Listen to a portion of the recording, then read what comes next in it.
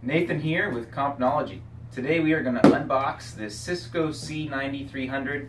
This is the 24UX model. So let's take a look. Now Cisco has their series of 3750, 3850. You'd think they'd have come up with the 3950, but they jumped right to the 9300 series. And it's pretty much a direct replacement for it. So we have our stacking cables, mounting hardware, power supplies,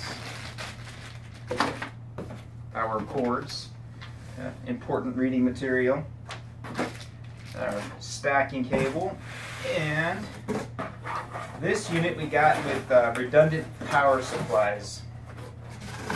So here we're going to have both of our power supplies. And this is a 1100 watt power supply. There's two of them. Now this unit comes in a series, uh, 350, a 700, and 1100 watt. And the main reason for the higher wattage is because you can get power over Ethernet on these switches.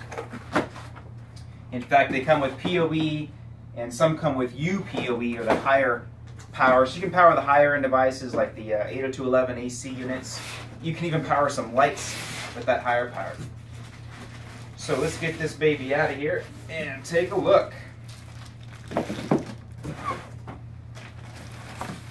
Okay, there's the front of her and the back. Put that aside. Okay, so as you can see, this is the uh, 24 port version. Now, these guys come in a 24 port, 1 gig, 48 port, 1 gig. You can get the same flavors with PoE or UPoE. And then you can get them with multi-gig uh, speeds. And the thing about the multi-gig is they have the 2.5, the 5 gig, and the 10 gig ports. But if you want to get this guy with 24 10 gig ports without PoE, well, ain't gonna work. Once you go full 10 gig, they only have the PoE version. So again, this is the 24 uh, C9300 24UX. So we'll put these uh, power supplies in. They really click in pretty easy. Nice click, nice hard snap.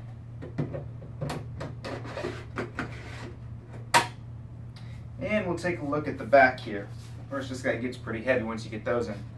Now in the back, uh, we have, of course, our three fans, and these guys are hot swap, easily replaceable. Uh, of course, you have your, your out-of-band management port. Uh, here, Cisco has given a USB 3 slot. You can actually put storage in here, 120 gig storage.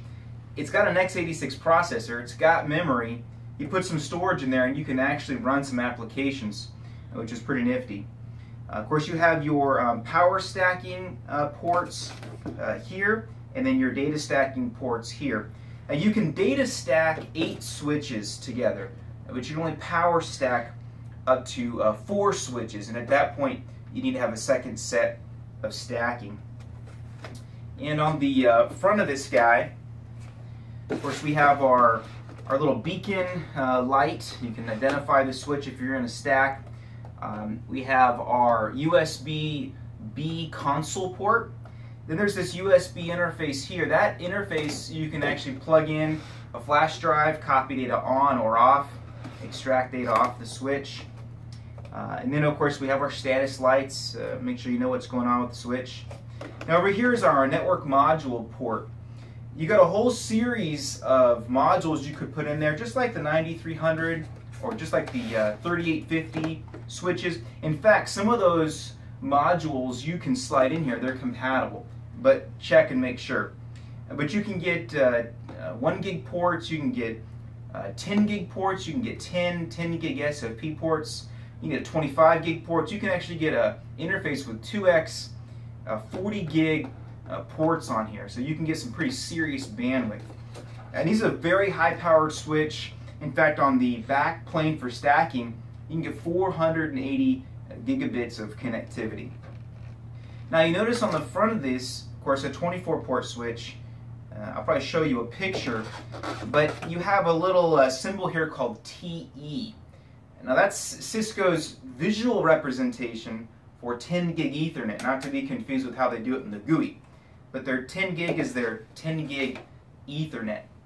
And one big question, it's really hard to find this, at least as of this video, online, if all 24 ports are gigabit, because the 48 port multi-gig switch, 1 through 36 is a multi-gig up to 2.5 uh, speed, 2.5 gig, and it's it's 30 it's the last 12 ports, uh, 36 to 48 or 37 to 48, where you get the 10 gig interface. But on this C9324UX, all 24 ports are full 10 gig Ethernet. So it's a really nice data access layer switch. Uh, in this particular one, we're going to be doing two for redundancy. Uh, it gives you lots of expansion, lots of flexibility, super high powered.